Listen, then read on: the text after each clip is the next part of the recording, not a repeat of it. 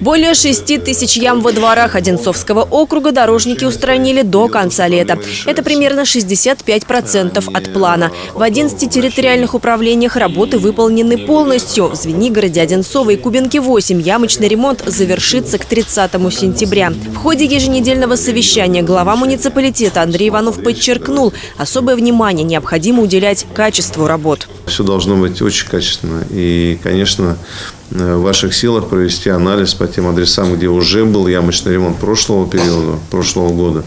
И если этот э, адрес попадает и в этом году, значит ремонт проводится некачественно.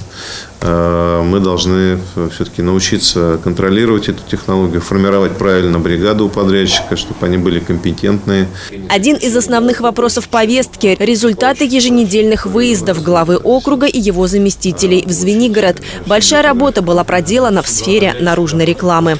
В части наружной рекламы и информационного оформления за истекший период нами было выдано 24 предписания на демонтаж демонтировано 13 э, вывесок и выдано 7 э, разрешений на вывеску. Кроме того, за месяц в Звенигороде сотрудники МБУ ликвидировали 10 очагов произрастания борщевика.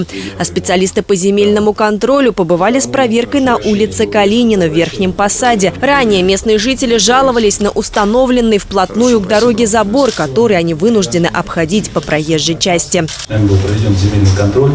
Было установлено о том, что нарушений со стороны арендатора земельного участка не выявлено, забор размещен по границам а, земельного участка. А, к сожалению, в прошлые годы а, на торгах этот участок был предоставлен, сформирован таким образом, что вот это требование в части двух с половиной метров для данной категории дорог соблюдено не было.